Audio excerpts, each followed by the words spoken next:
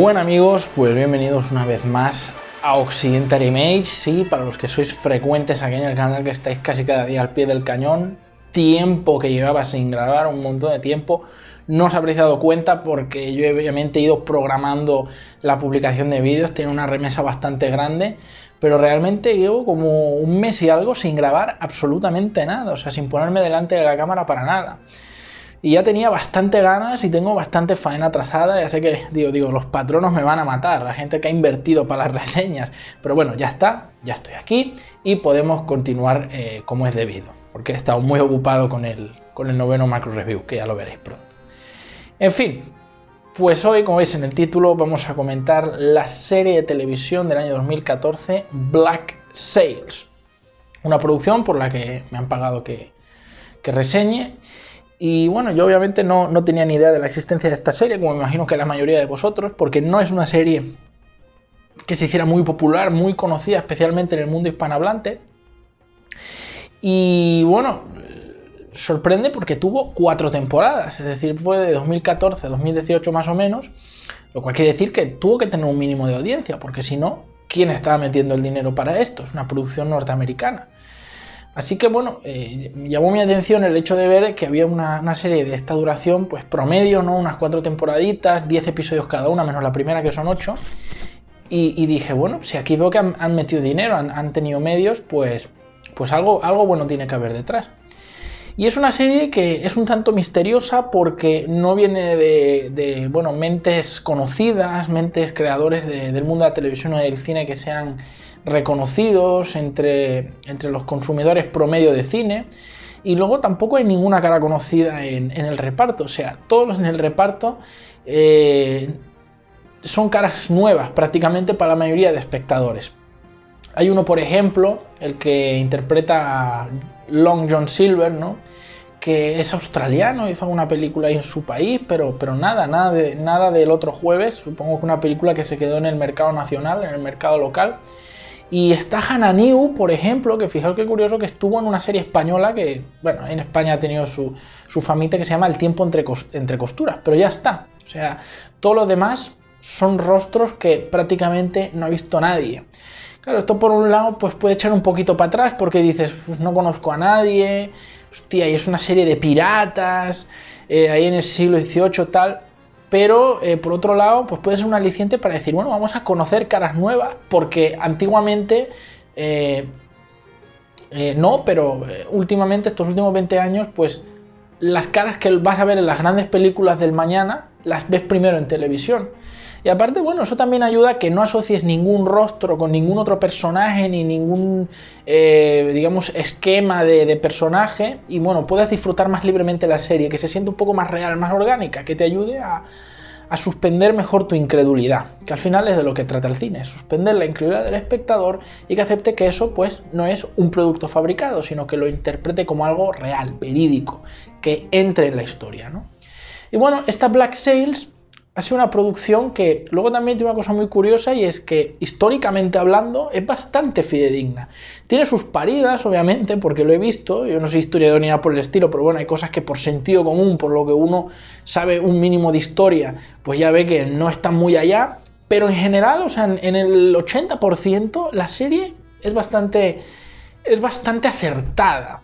Y además es una de esas pocas obras sobre el mundo de los piratas que retrata muy fielmente lo que era eh, el, tema de, bueno, no solo de la piratería, sino de, de las colonias del Nuevo Mundo, del conflicto español-inglés y Santa Madre de Dios, bendito sea, si es que esto siempre lo tienen que venir a hacer desde fuera, porque en España es imposible una producción que, que no deja a la corona española, al antiguo imperio español, como la mierda, que lo trata como lo que era el conjunto imperial más grande y poderoso de, su momento. O sea, nada se podía medir con, con, la corona española en aquellos años, ¿no? Entonces, bueno, vamos a ver los pocos, a los españoles, pero lo poquito que salen, pues son retratados como lo que son, un imperio temible, fuerte y con lo que, bueno, meterse con ellos era algo peliagudo.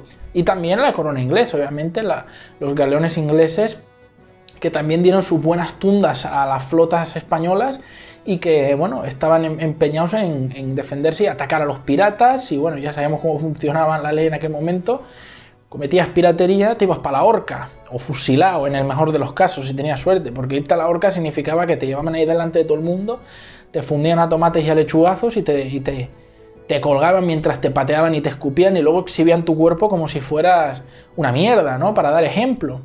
De hecho, hay, hay, hay algunas de estas situaciones en la serie son francamente terribles, impresionantes.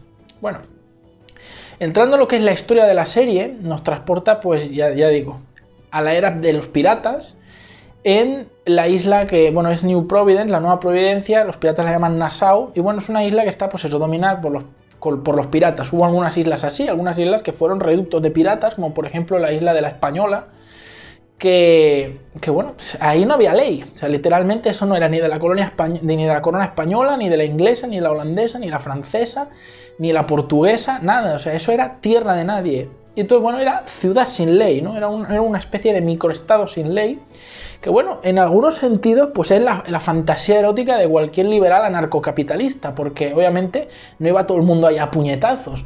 Había una jerarquía, había un orden dentro del salvajismo de los piratas, y bueno, básicamente es verdad que robaban, mataban, violaban, hacían muchas salvajadas, pero bueno, luego tenían su propia organización interna y ahí mercadeaban, vendían, compraban, eh, sin, impuestos, sin, ningún tipo de injerción estatal de por medio, ¿no? Que, muchos huían a la piratería, eh, es verdad que por sádicos, por, por, por criminales, por locos, o sea, cualquier mente perdida es lo que hacía muchas veces, el tipo que había violado, matado, robado o, cometió cualquier delito en, la civilización, en Europa especialmente, y que bueno, se, iba directo a la horca o a cualquier castigo ejemplar como una condena muy larga, pues subía a la piratería para seguir haciendo fechorías. Pero bueno, había algunos otros, como se muestra en la serie, que eran idealistas, que simplemente querían buscar horizontes fuera de los resquicios de la ley, de bueno, de, la, presión cristiana también, ¿no? Eh, muchos hombres o mujeres que no estaban de acuerdo con estos estigmas y estas historias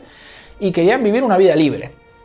Obviamente lo, malo de esto es que lo hacían a través del robo y el saqueo, es decir, sí, bueno, muy bonito todo, eh, pero no puedes ir por ahí matando y robando a la gente by the kinder.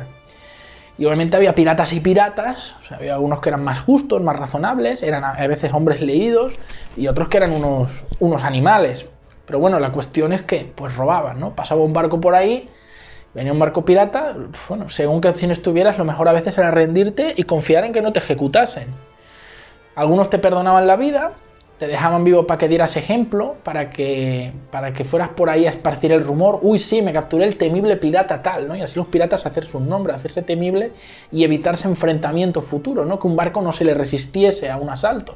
Claro, si luego te pasabas de listo y, la cosa ya escalaba mucho, pues te convertías en un, en un most wanted, en un más buscado, y a lo mejor si se te cruzaba el cable algún día, matabas a alguien que no debías o robabas a alguien a que no debías, venía pues el imperio español, el inglés, y te ajusticiaban, ¿no? Ponían precio a tu cabeza y podía venir hasta otro pirata por ti para cobrar la recompensa.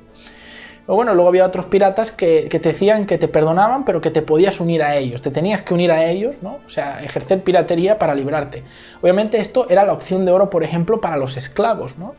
Eh, la esclavitud que estaba muy practicada en ese tiempo, especialmente en la corona inglesa, todos los pobres negros que ah, sacaban de África para llevarlos a las colonias ingleses en, en lo que hoy es Estados Unidos, pues claro, vas a estar ahí aguantando latigazos, insultos, golpes, que te traten como un mono de mierda, o, vas a decidir tener una vida libre y mira, por lo menos estar en paz, ¿no? Poder hacer tu puta vida sin que te traten como un animal. Pues obviamente, para eso la verdad yo creo que no hay objeción. Y oye, tú, eh, para mí si iban y asaltaban otro barco y mataban ingleses, que le hacen por el culo. O sea, eran unos esclavistas de mierda. Claro que en el pensamiento de aquella época, pues era lo normal. Entonces, en esa isla de Nassau hay una serie de piratas interesados en fines, algunos comunes y otros partidarios pues solo de, un individuo.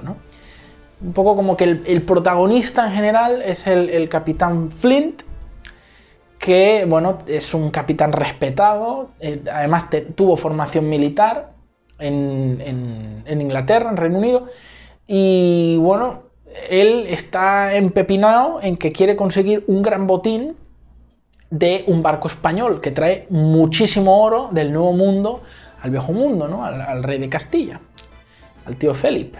Pues él planea interceptar el barco y robarle todo. Pero claro, como ya he dicho, o sea, no penséis que los barcos españoles, los grandes galeones españoles, eran una puta mierda.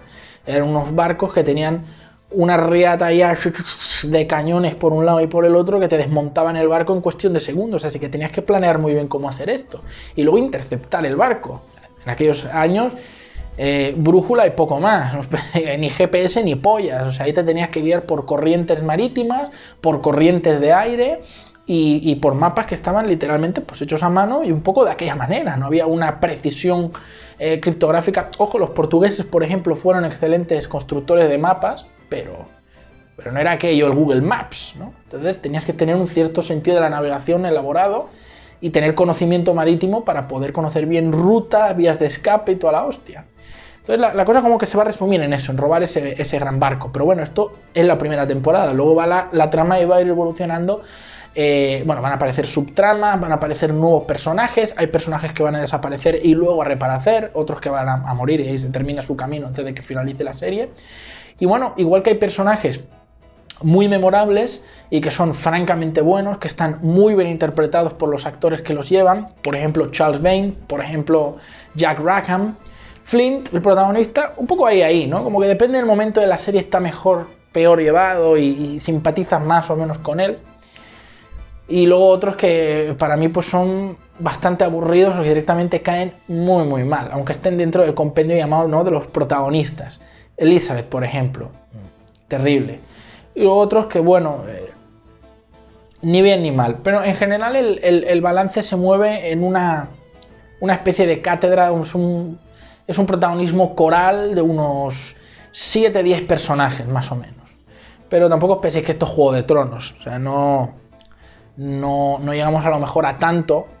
Pero bueno, también tiene su chiste aprenderte los nombres, asociar, ahora están hablando de este, de aquel, tienes que estar un poquito atento. Pero, eh, entonces, la serie que eh, disponible para público casual, solo para gente que sea muy fan de la historia o que le guste mucho el tema de los piratas y la piratería de aquellos años, o, cómo va la historia, ¿no? O sea, bien, mal, pues yo creo sinceramente que es más para lo segundo. No sé yo si a un tipo de espectador promedio le puede gustar a eso. O sea, hay gente que se cree que, que como Juego de Tronos fue la serie más laureada de toda la década y una de las más laureadas de todos los tiempos y, era de tema medieval, fantástico y tal, bueno, ahora todo el mundo creería que cualquier espectador se traga, yo que sé, una historia de Tolkien o algo así. Pero es que no es realmente eso. Es que, bueno, Juego de Tronos ofrecía unos personajes bien escritos, muy humanos, con sus trasfondos, y no todo era rollo de los caballos, el castillo, la corona, había moríos, había complots, había el tema de una amenaza sobrenatural, como eran los caminantes blancos, madre mía, qué recuerdos, había personajes súper magnéticos que salían a veces poquito, pero que eran muy atractivos, tipo Oberyn y así, es decir, no sé, es una serie que que podrías haber trasladado todas esas virtudes a una historia en el siglo XXI y yo creo que hubiera enganchado igual. Bueno, igual no tanto, no tanto, no tienes el tema, joder, la recreación de, esas ropas, esa, esa, época, los dragones, toda la hostia, pero bueno, en general son unas virtudes que universalmente gustan al público. En el caso de Black Sails no estoy tan seguro de que a un, a un espectador promedio, ¿no? que no es muy cinéfilo ni es muy fan de estos temas, le pueda gustar. Sinceramente porque en la serie se pierden muchos momentos. Es decir, da la sensación, especialmente a partir de la segunda temporada, que tiene sus altibajos. ¿eh? La primera temporada ñe, la segunda mejora bastante, la tercera me reñé, la cuatro mejor otra vez. Pero da la sensación de que el flujo de calidad es muy disperso. O sea, no es una serie homogénea, tú dices, puta, un capítulo, dices, quiero otro, otro, otro, otro. Pasa eso a principios y a finales de temporada, lo cual no es un muy buen indicador hablando de una serie. Esto realmente es un signo de que una serie tiene una buena premisa, pero no la está sabiendo desarrollar bien. O sea, un, un caso clarísimo de Walking Dead. Es una serie que actualmente tú la ves, las primeras temporadas no, pero estas últimas cliffhangers al final del episodio de la hostia, especialmente a final de temporada, pero lo que es el, bulto, o sea, la parte de en medio del episodio, paja, relleno, relleno, cosas completamente insustanciales, donde solo estás esperando y pasando, esperando, contando los minutos para que llegue alguna escena espectacular, que suelen ser final inicio de episodio, el resto vacío. Pues a Black Sail no le pasa eso exactamente, pero está ahí ahí. Y de hecho hay capítulos que, que ni eso, que todos ellos son completamente aborrecibles. Y te vas a dar cuenta si ves esta serie que hay muchas escenas que las estás viendo y dices, pero bueno, ¿cuántos minutos están pasando? 10, 12 minutos. Y dices, bueno, y hay dos, dos, tres tipos hablando.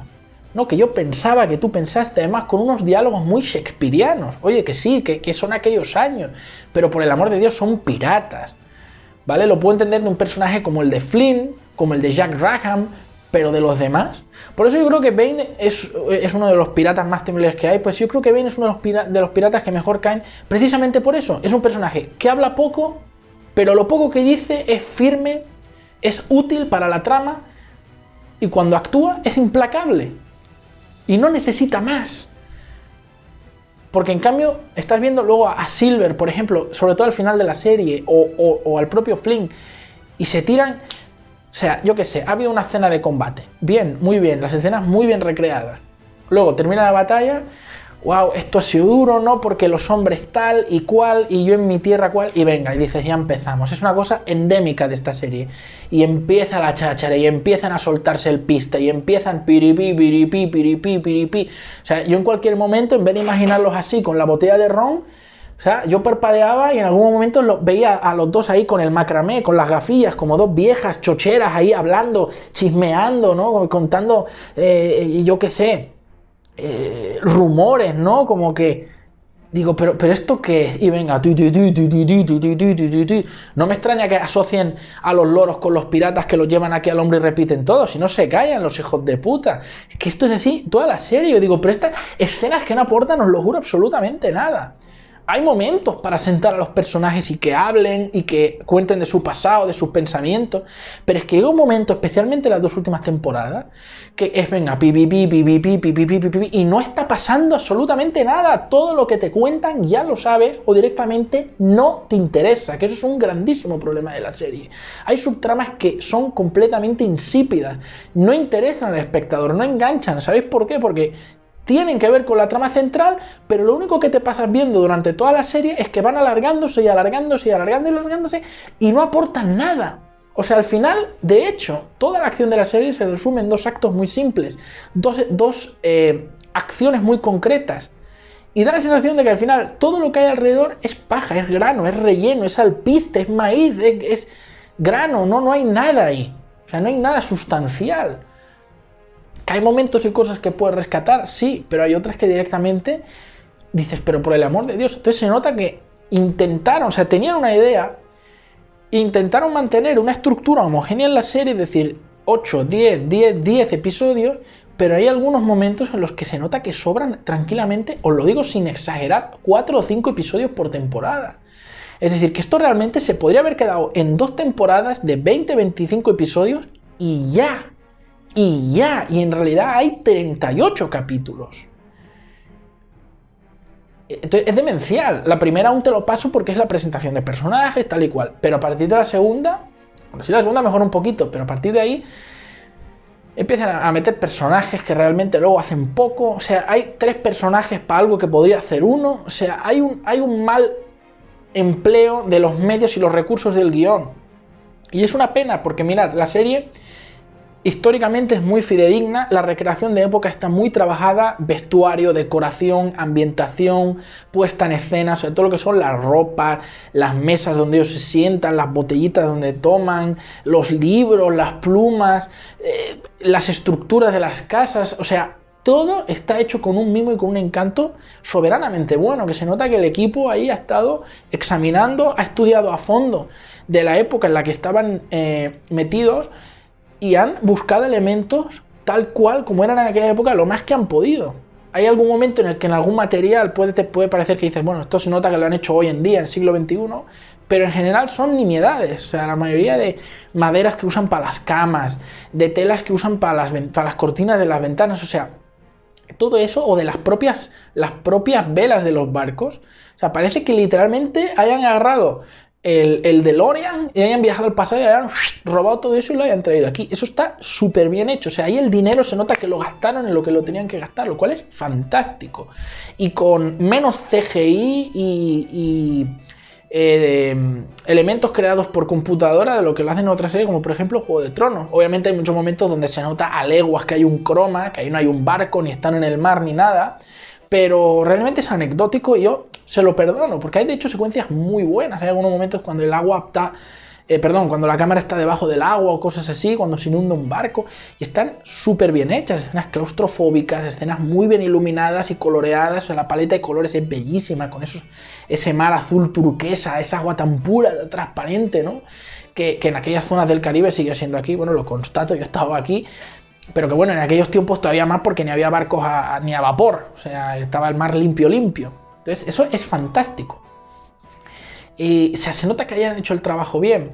Eh, luego también en, el tema de pues, eh, la mentalidad de la época, las disquisencias, ¿no? los pensamientos de, cada uno de los marineros, piratas y todo, fantástico. Luego si veis el contraste de cómo es una, una casa de los españoles, de las colonias españolas y de las colonias inglesas o de las casas de los piratas, el, contraste estructural, es decir, eh, está todo muy bien cuidado, están acertado con las ropas de los de los soldados imperiales españoles, que esto que, a los ingleses a veces esto les importa un huevo, o sea, cuando hablamos de, los ingleses vale, porque los Estados Unidos pues, son eh, básicamente un país descendiente en alguna forma de, Inglaterra, de Reino Unido, entonces bueno, eso, ese trasfondo de, todo lo que es la historia de, Inglaterra pues también la llevan ellos, pero de los españoles, que es un país que ni fu ni fa, pues, pues sí, han hecho los deberes y se lo han currado mucho, entonces Técnicamente la serie está fantástica, la banda sonora también, la típica música con el, típico acordeón pirata y, todo, todo, el típico con la pata palo, el otro con el parche, o sea, tiene sus, tópicos, pero tópicos que vienen de la realidad, o sea, está fantásticamente hecho. Fantásticamente hecho técnicamente, o sea, sientes que estás en el mar del Caribe, eh, ves a los personajes como que con esa piel tostada de ese mar sus pieles bronceadas, ¿no? La sal, la, arenita que se pega a su piel, sientes el calor, la sed, o sea, técnicamente Black Sail es una proeza increíble. El problema que tiene está en el guion. Y eso es una absoluta pena. Porque no llega a las cotas de calidad de lo que es la imagen, la banda sonora. Es una verdadera pena terrible. Obviamente, pues tiene sus gazapos, ¿eh? también hay que señalarlos. Yo qué sé, por ejemplo, me hizo mucha gracia esto. Cuando están en la primera temporada, hay un momento breve en el que aparecen unos españoles, ¿no? Pelean ahí con unos españoles, unos del Imperio Español. Y bueno, están ahí peleando y hay un momento como que hablan. Y bueno, yo la serie la he visto en versión original. O sea, ellos hablan, van hablando en inglés. Hay algún momento que me parece hablan en francés también, pero bueno, en inglés es el idioma de la serie. Entonces, están ahí peleando y de repente habla un español. Y cuando lo a hablar, a mí se me escapó la risa. Porque están en el barco y de repente oyes, tenemos que llevarlos abajo. Si es que me habéis descubierto, en realidad los españoles hablamos así, es todo una mentira. Yo dije, me cago en Dios. O sea, ese tipo que agarraron claramente era portugués o brasileño, porque ese acento es, por ejemplo, el mismo que tenía el que interpretaba Pablo Escobar en la serie de Narcos en la primera temporada, que es un tipo brasileño que no sabía hablar español y que aprendió español ahí malamente, muy bien lo hizo, ¿no? Entonces tiene que decir, no es un acento colombiano ni por el forro los cojones, pero lo aprendió bastante bien se nota que era un tipo brasileño español. Y yo dije, me cago en la puta. Digo, ¿qué pasa? no tenían dinero para conseguirse a nadie español. No había un español por ahí, yo qué sé, sacando unos cocos de la palmera o algo. Decirle, tú, ven aquí. O mínimo, mínimo, que yo digo que esto es de sentido común, que esto ni casi ni te cuesta dinero. Haces que el tipo hable mal con su acento y luego contratas a alguien para que te doble la voz.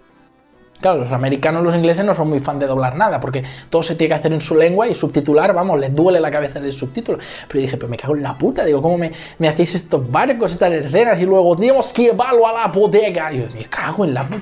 Digo, no, nosotros, digo, ¿qué, ha pasado? ¿Ha transmutado el acento de, aquel año a este? Hombre, yo digo yo que los españoles de aquellos años no hablaban igual que nosotros, que esto es algo que critiqué en la serie de Hernán, que, que hablaban un español muy del siglo XX-XXI pero joder, ese acento, no me jodas. ¿Qué pasa? ¿Qué casualidad? ¿Todos esos piratas son portugueses reconvertidos a españoles? ¿Qué es eso?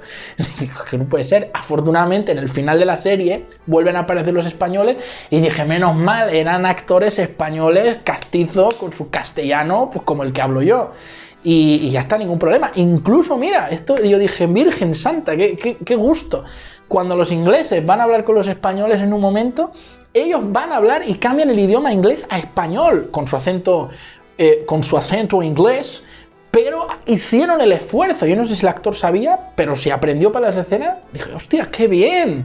O sea, es un poco de respeto a la corona española. Bueno, en aquellos años en los que ser español era un orgullo, no como ahora, que, que, España es un país del que se ríe todo el mundo y es una casa putas.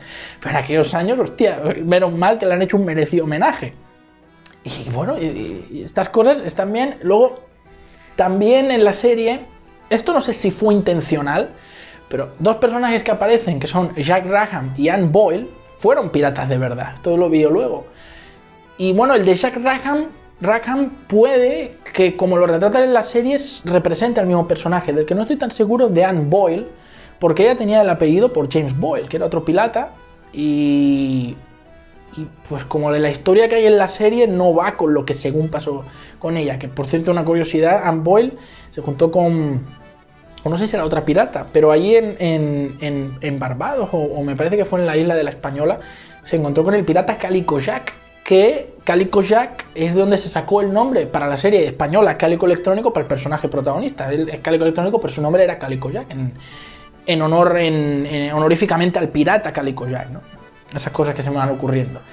Y ese personaje de Anne Boyle lo emparentan con Jack Rackham, cosa que jamás sucedió, pero, pero si os fijáis en Anne Boyle, o sea, es como la describían a ella. Anne Boyle era una mujer irlandesa, el típico pelo rojo, sus azules, o sea, la actriz que la interpreta es así, ruda, pelonera y toda la hostia, pero su historia en la serie no es la que parece que, que contaron.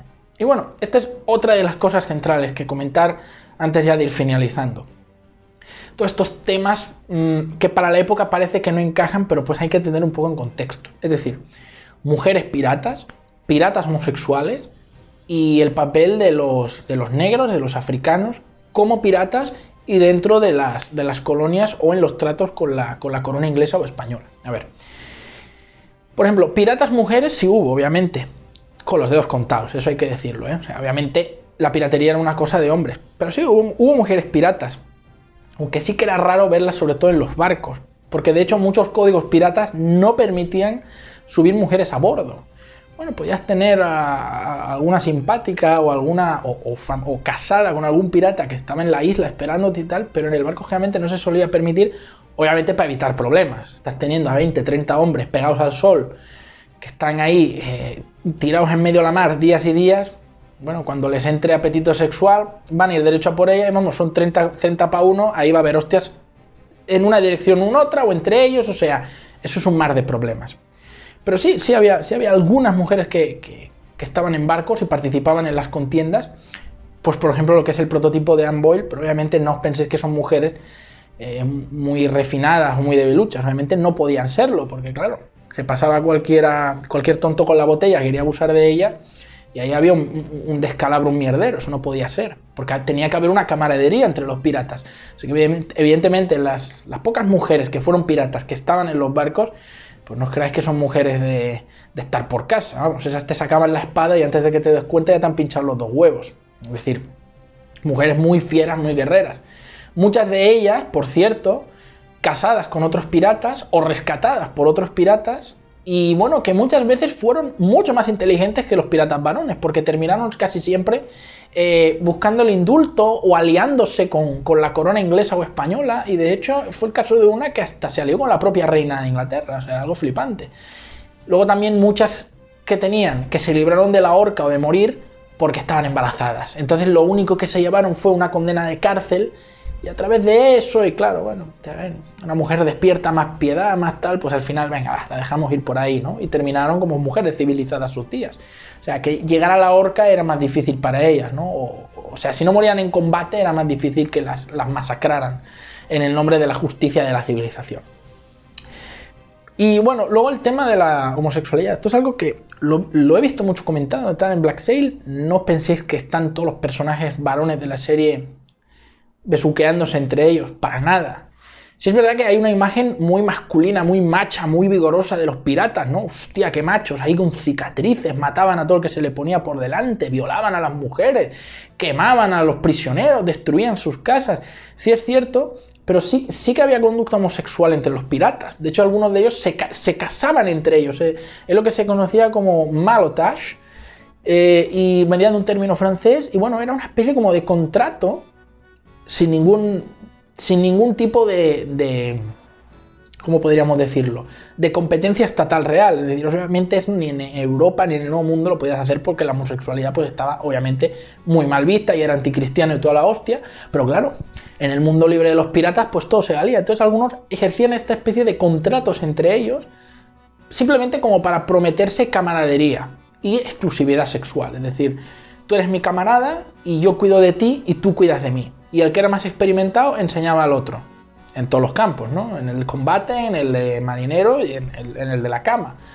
Pero bueno, es que también luego había mucho, mucho progre y mucho eh, flipado que ha, idealizado mucho la homosexualidad en, el mundo pirata, pensándose que bueno, eso era una trupe de amanenamiento y de besitos y de cariño. A ver, no.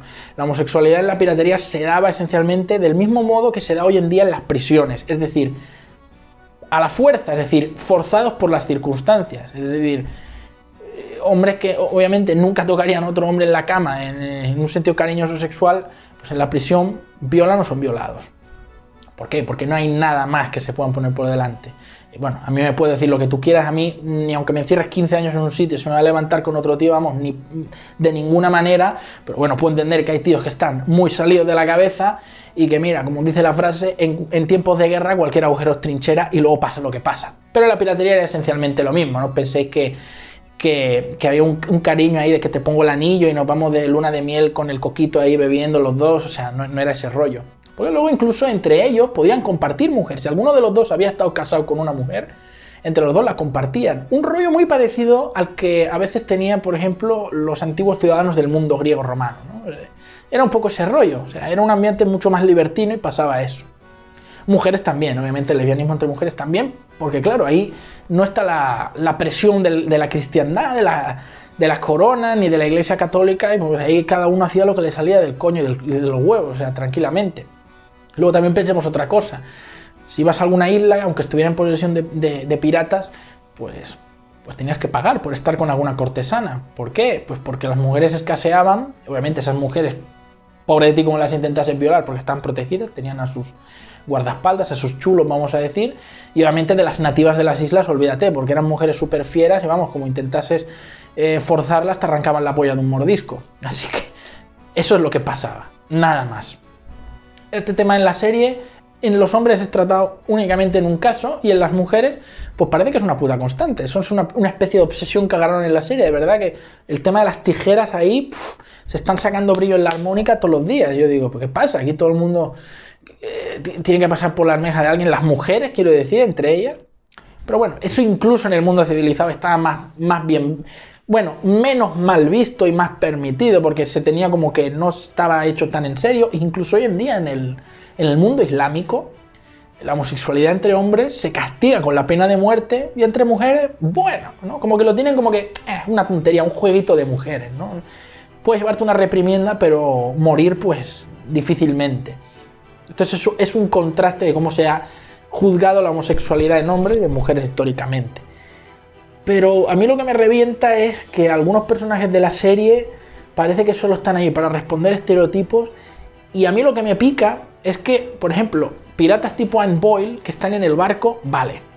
Pero lo que yo no me puedo creer es que hay un personaje en la serie que asesorada por un hombre negro, bueno, dudoso en el mundo civilizado, aceptable en el mundo de la piratería, sea la que lleve el cotarro solo por ser hija de su padre.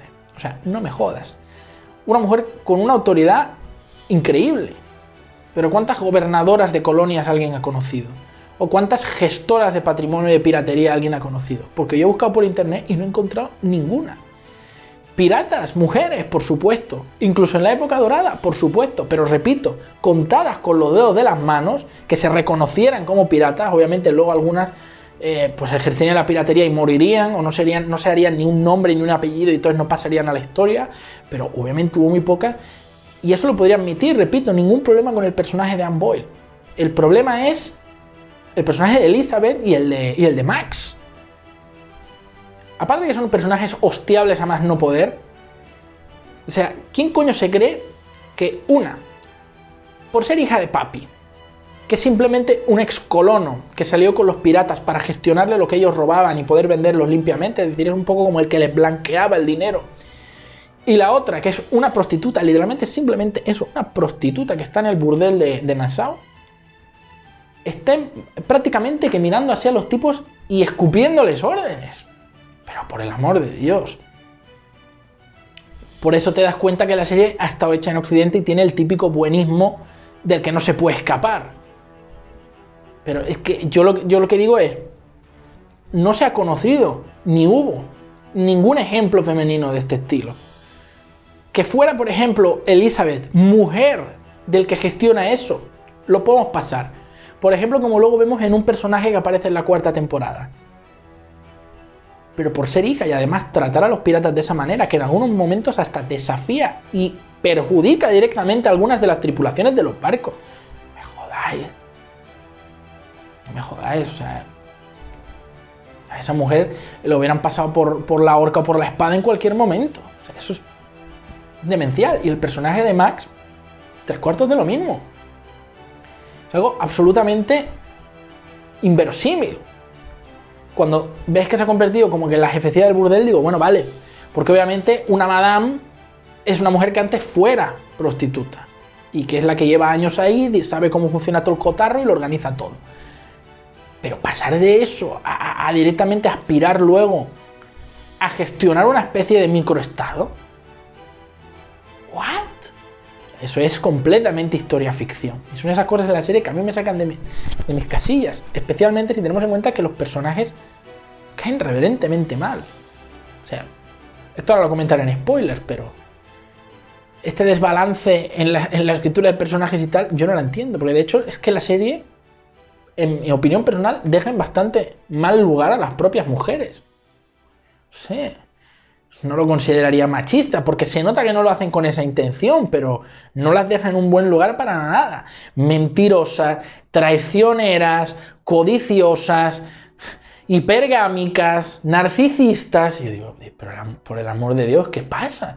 Que todos los malos atributos las tienen las mujeres nada más. No sé, yo no soy mujer y a mí pues me da igual, o sea, me, me, me la renfanfinfla, ¿no? Pero si fuera mujer yo, yo me preguntaría, bueno, pero esto quién coño lo ha escrito? ¿Qué pasa? Que no, puede haber personajes con esas virtudes y defectos porque sean varones. Porque hay personajes masculinos que son malos o que son los enemigos de, de, los piratas y tal. Pero aún así cuando tú los analizas tienen unos códigos y tienen una moral y no venden a la persona a la que aman o a una persona con la que han ejercido un contrato al mejor postor para sacar tajada. No lo hacen en ningún momento. Ni españoles, ni ingleses, ni, ni nada de nada. Ni los esclavos negros, nada. Nada de nada.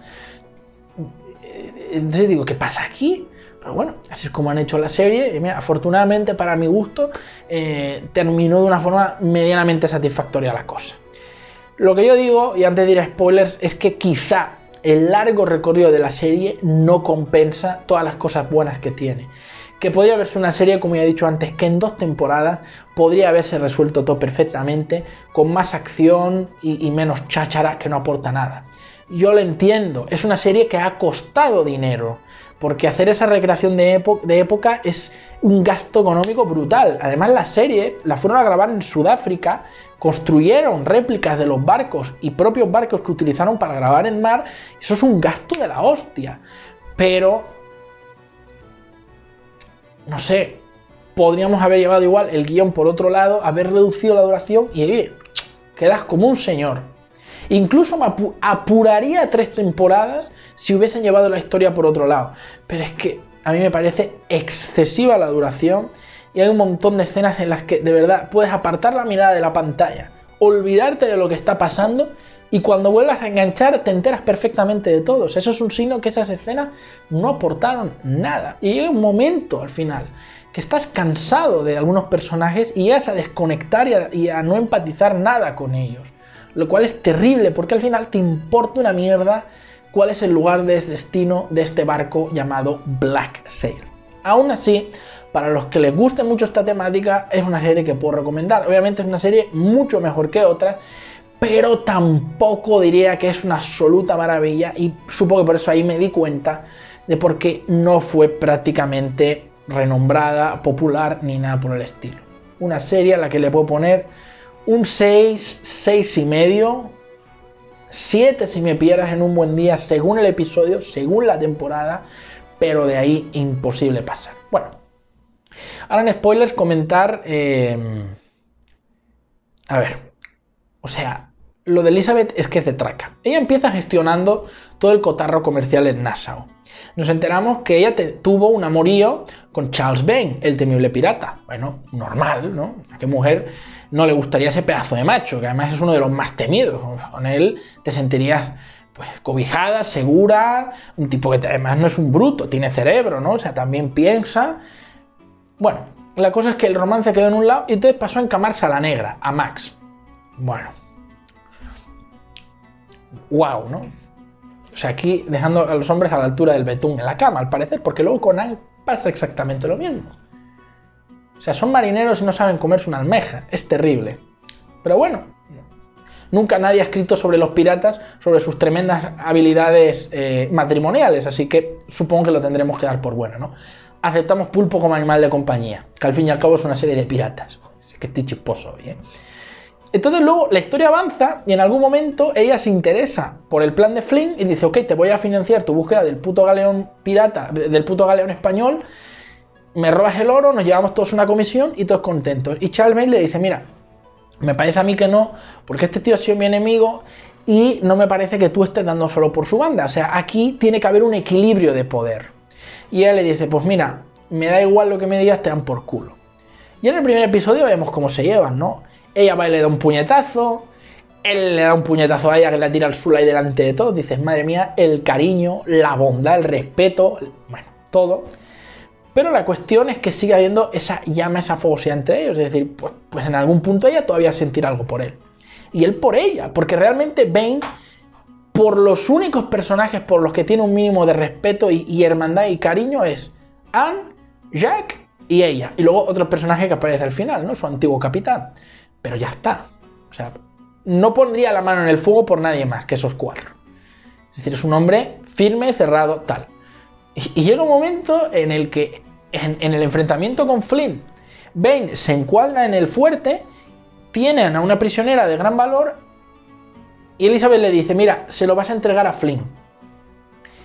Ella previamente ya lo jodió dejándolo sin tripulación y sin barco, humillándolo delante de todos. Y él tragó porque es un caballero. O sea, antes que pirata, caballero. Pero cuando está en el fuerte con la prisionera, va hija de puta, se encama con él, o sea, lo, seduce con besitos y caricias, y cuando el tipo está dormido, se escapa por la puerta de atrás con su, con su, con su garantía de, de, vivir. Porque claro, si estás metiendo a todos esos tíos en el fuerte diciendo aguantad los cañonazos y todo lo que venga y el hambre y todo, porque tenemos a esta hija de puta que nos van a dar dinero por ella, y tú se lo quitas, bueno, lo van a desollar vivo. Y va y se, lo lleva por la puerta atrás. Y él la, encara en un momento antes de que se vea y le dice, por favor, no hagas esto, no pasa nada, no me voy a enfadar contigo, sabes que soy un hombre razonable, por favor, vuelve aquí. Y mirándolo a la cara le dice, que te joda. Y se larga la hija de puta. Y lo deja vendido que probablemente eso significaría su muerte. No muere porque el, el tipo se las ingenia, pero es lo que indirectamente luego conduce a que lo maten. Porque luego a la tipa se la llevan los ingleses y luego los de la corona le dicen, mira, que vamos a ir a Nassau a repartir hostias como panes ahí, tú me vas a guiar, que tú conoces el cotarro. Y va y vende a Bane para que lo maten. Es verdad que él mata al padre Elizabeth, pero el padre Elizabeth para ella, en toda la serie, te lo representan como que a ella le importaba tres cojones el padre. Que el padre era un hijo de puta que no la dejaba a ella hacer nada por el hecho de ser mujer y que no la respetaba como hija ni, ni nada que él iba a irse, y de hecho Bane le dice al final, cuando estuve a punto de matar a tu padre, él me dijo, quédate con Elizabeth, quédate lo que quieras, pero déjame vivir. O sea, que era un hijo puta cobarde que no la quería para nada. Y aún así la cabrona va y lo vuelve a traicionar por tercera vez y le vende a los ingleses a Bane. Y lo matan. ¿Cómo coño te va a caer bien un personaje así? Encima encamándose al, al puto gobernador inglés que va para allá. O sea, no me jodas. No me jodas, o sea, una cosa es que un personaje tenga sus fallos, tenga sus defectos. Si hubiera hecho lo primero y lo segundo lo podríamos haber pasado, pero cuando llega al final a mirarlo a los ojos cuando lo están ahorcando delante de todos, dices, es que no puede ser más hijo de puta. es que no puede ser más hijo de puta. O sea, aquí arrimándose literalmente, literalmente, vulgarmente, pero literalmente al rabo que más calienta esta mujer. Es lo único que sabe hacer. Cuando no es papi que me protege, es Bane. Y cuando Bane ya no me interesa, es el gobernador. Wow, no, pues qué ejemplo de mujer empoderada y luchadora, ¿eh? O sea, terrible. Y bueno, luego tenemos a Max, que está para darle de comer aparte en un bol de perro. Porque, o sea, bueno, en esencia, el, el, o sea, lo que es el, el plantel descriptivo del personaje, ya conmigo, mal. Mal, muy mal. Primero, es una corruptora de vaginas. Ya lo he dicho antes. No sé qué pasa, que las mujeres que se van con ella no son capaces luego de recuperar el, apetito sexual por un hombre. Joder, que es una bruja. ¿Por qué hacen eso? A ver, esto es broma, ¿eh? Pero lo que me, toca los huevos es que cuando hace eso, luego los otros personajes parece que dan la vida por ella. Digo, pero si lo único que, que ha hecho es hacerles un cunulingus, eso sí, y ya está. No les ha prometido una fortuna, no les has revelado el, misterio de la vida, no les ha dicho dónde hay un tesoro escondido, solo se las ha encamado. Digo, ¿qué pasa aquí? O sea, no es que el personaje caiga mal per se, sino que a raíz de lo que ocurre luego te cae mal. Dices, ¿pero esto qué es? Al punto de que luego Bonnie llega a dejar medio vendido a Jack Rackham, que es el amor de su vida, que él la salvó de- de- del eh, marido que tenía, que era un violador y un hijo de puta, que estaba con ella cuando era una niña de 13 años. Dices, ¿qué, ¿qué pasa aquí con las mujeres, de verdad? Bueno, corruptora de vaginas. Luego, habla todo el día como si tuviera un sifón metido por el culo. O sea, eso nunca lo he entendido. You will bring me the jewels, or I will have to go. I have to do what I'm meant to do. Luego, o sea, hay algo muy curioso que es, yo entiendo que la chica es negra y a lo mejor no se ha criado en Inglaterra y tal, y el inglés no es su lengua materna, la mía tampoco, yo no hablo el inglés perfectamente, pero tú sabes lo que es, o sea, la- o sea, redundando redundantemente la redundancia redundante, es decir, no, no puede usar pronombres.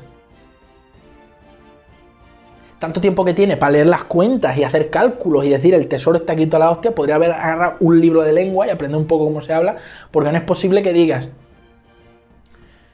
Pasé con el candelabro por la puerta y luego dejé el candelabro en la mesa. El candelabro estaba ahí y luego volví a agarrar el candelabro. A ver, Pasé con el candelabro por la puerta, lo dejé en la mesa, el candelabro estaba ahí y luego lo recogí. Acortan las frases y no tienes que repetir cuatro veces lo mismo. Bueno, pues ella está todo el rato. And I have the money, I don't have no to do. And to do so is not have the money, and the money is not have to do. Has dicho el to do, el money, tres veces cuando lo podrías haber dicho una. Y yo voy mirando el reloj y digo, oye, que el capítulo sigue rodando, ¿eh? que aquí tienen que pasar cosas. Joder, pues cada vez que Max abre la boca, una escena que dura 10 minutos dura 20. Y aparte de que está susurrando todo el rato. O sea, parece como si absorbiera el oxígeno y luego no fuera capaz de dar bocanadas nuevas y lo tenga que soltar todo de una. O sea, una persona normal dice, yo qué sé, ese corsario inglés va a destruir toda la costa y va a dejar la playa hecha cenizas. Bueno, pues ella dice, ese corsario inglés va a destrozar la playa y va a dejar la costa hecha cenizas. ¿Ves? Es como que... Parece un fantasma. O sea, y luego se parece a mi ex. O sea, es que en ninguna de las cosas se salva. O sea, ya, ya de entrada el personaje me cae muy mal. Pero lo peor es que... Joder. Jode a Flynn con lo del oro. Jode a James Silver, a John Silver y, lo quiere matar al final. Y la hija de puta sale de rositas, tú, gobernadora de Nassau prácticamente. ¿Pero esto qué coño es? ¿Esto- ¿Qué dotes tiene esa mujer? No, es que yo sé cómo funciona y tal, y ningún otro pirata de ahí lo sabe, nadie más lo sabe. Nadie. Ni Jack Rackham, ni Anne Boyne, ni, ni ninguno de los otros piratas. Es verdad que muchos dirigentes de las tripulaciones mueren. Pero, ¿qué, o sea, ¿qué tenía ella detrás para conseguir todo lo que consigue? Simplemente que es una trapera y agarra secretos de la gente y los utiliza en su contra. O sea, es una chantajista extrema. Y tú pones a una persona así a dirigir un microestado, una isla, un estado libre, no me jodas. Estas cosas no las entiendo. Luego tenemos el tema de Flynn, que resulta que, tenía a su amante ahí en, en, Inglaterra, hombre, Thomas. Lo que me hace cachondeo es al final que están diciendo toda la serie que Thomas murió y luego te dicen que no, que, estaba en una plantación de ahí de, de Luisiana, en Estados Unidos, y que lo tenían ahí, que es un sitio donde van algunos presos y tal. ¿Y por qué? Yo nunca he oído de eso. Si vas contra la ley y encima conspirabas contra la corona, contra el ejército, ibas inmediatamente preso y, si te habías pasado de la raya, la horca. Pero es que en teoría él lo agarraron por, por ser homosexual aparte. Y, el padre, puedes entender que en, algún sentido u otro puede decir que quiere quitarse el hijo del medio para no perjudicar la imagen de su familia, pero eso de la plantación y toda la hostia. Y a mí, uno de los fallos de guion más grandes de esta serie es cómo puede ser que cuando Flynn está delante de, de su padre, del padre de Thomas, y lo tiene de rodillas y lo va a matar, el otro no le diga, Thomas está vivo, está ahí y tal, perdóname, ¿no? O sea, yo lo mandé ahí para que no lo mataran porque es mi hijo. No, simplemente dice, por favor no me mates. Por favor, no me mates. Hijo de puta. ¿Quieres vivir? Dices lo que haga falta. Hasta que se la vas a comer ahí mismo, delante de tu esposa. O sea, ¿cómo puede ser que eso nunca lo trataran? Dijeron, no, es que el padre no lo sabía. ¿Cómo el padre no lo iba a saber? Si era un gran mandatario de, las fuerzas navales de Inglaterra. O sea, ¿eso cómo, cómo lo gestionaron así de mal? O sea, es terrible. Y luego, bueno, Flynn que quiero traer la paz a Nassau y civilizar esto y construir un estado y que haya un futuro, luego que no, que quiero, quiero que los gestionen los ingleses, luego que no, que voy a matar a todos los del mundo civilizado porque me han quitado lo que más quería, es su puta madre, o sea, un personaje que va dando muchas, muchas tubas. Y luego además un tipo que no te puede caer bien del todo porque es un traicionero. Mata a Graves, intenta matar a Bill en un momento, es decir, es un tío que, que mataría a quien fuera, incluso a sus más allegados, por conseguir sus propósitos. En ese sentido sí que es verdad que me gusta el personaje porque es muy humano, es decir, tiene sus claroscuros y no es el típico protagonista perfecto o casi perfecto o que solo va mejorando para bien, o sea, no todo el mundo sigue un camino de mejora y de ascensión moral. Entonces en ese sentido me recordó mucho, por ejemplo, a Walter White de Breaking Bad. Y de hecho muy parecido a cómo empiezan con pelo y terminan pelados luego al final de la serie. Y, tienen perillas del, del, mismo color más o menos, pero, pero no das el suficiente tiempo para empatizar con el personaje como para que puedas perdonarle sus maldades. O Walter White sí, era un hombre que tenía cáncer, lo hacía por su familia, es decir, hay unos incentivos muy fuertes detrás de todas las barbaridades que comete. Pero de Flynn, ya en la primera temporada, en el último capítulo, matando a, su, a un hombre que directamente da la cara por él en muchos momentos, aunque sabe que mienta a su tripulación. ¿Y todo por qué? porque echa de menos que, le huela lento a la polla de su ex o, que no quiere que maten a la putirrijilla que tiene ahí en Nassau? No, tío. Necesitaban desarrollar un poquito más, yo creo que al personaje, antes de que pudiera cometer esas fechorías. Hombre, la segunda temporada lo hubiera entendido, pero es que ya en la primera mata a este, mata al otro. Joder. ¿Qué pasa aquí? Pones en riesgo la vida de tu tripulación por caprichos personales tan infantiles como de que ah, es que estoy enamorado. No me jodas. ¿Cómo se hace así la imagen de un buen pirata? No uno temible o feroz, un buen pirata. Por eso para mí le da mil vueltas Charles Vane. Mil vueltas. Y Jack Rackham, mira, es un tipo que no es un hombre de acción, ni es el más macho ni tal, pero mira, es un tipo simpático, es un tipo sagaz, es un tipo eh, lúcido, tiene, es un tipo divertido, o sea, te cae muy bien.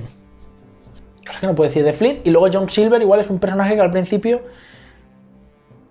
parece que solo está ahí para ser el perro traicionero y tal, y luego se pone de camarada con, con cuando pierde la pierna y tal, ese momento es muy bueno, como logra llegar a ese nivel de conexión con el resto de piratas de la tripulación, pero parece muy happy flower todo, ¿no? O sea, al fin y al cabo estaba planeando joder a Flynn.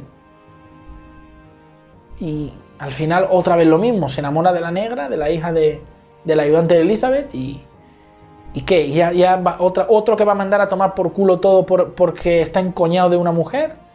Porque es que esto es un. Es un. Con una, una cosa perenne en la serie. Como estoy enamorado de tal, aquí toda la mierda con tal de tener a mi chocheta al lado. No me jodas.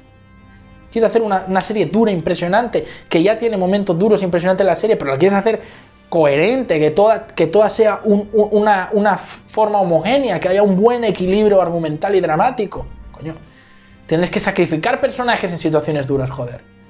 Que uno diga, mira, quiero este personaje y me complemente lo que yo quiero, pero si me lo tengo que quitar de en medio para que la historia avance mejor y reforzar a otros personajes en detrimento de unos que, que a lo mejor no me sirven tanto, pues lo tengo que hacer.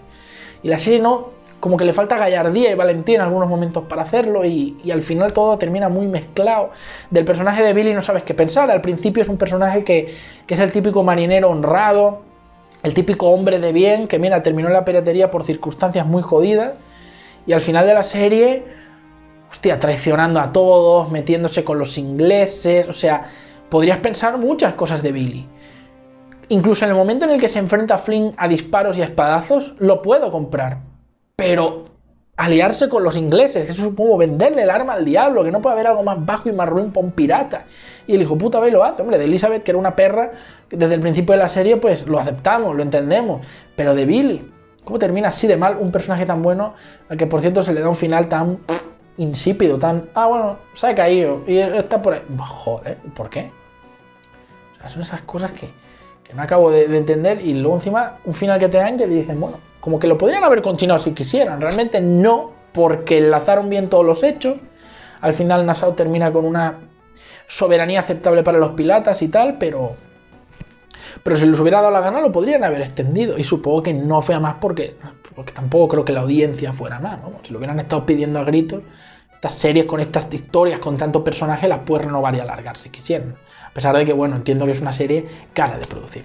En fin, eh, bueno, creo que ya lo he dicho todo, me he extendido todo lo que he podido, he sacado todo lo que podía sacar, es una de las pocas personas también que ha hablado de Black Sail, así que bueno, espero que os haya gustado la reseña. Y bueno, si es así, pues ya sabéis, podéis darle like, podéis compartirla, eso siempre ayuda mucho. Y si queréis vuestras reseñas, ya sabéis, ahí abajo tenéis PayPal o podéis hacer patronos, que os saldrá todo más a cuenta y tendréis acceso a muchas secciones más. En fin, muchas gracias y nos vemos en la próxima reseña.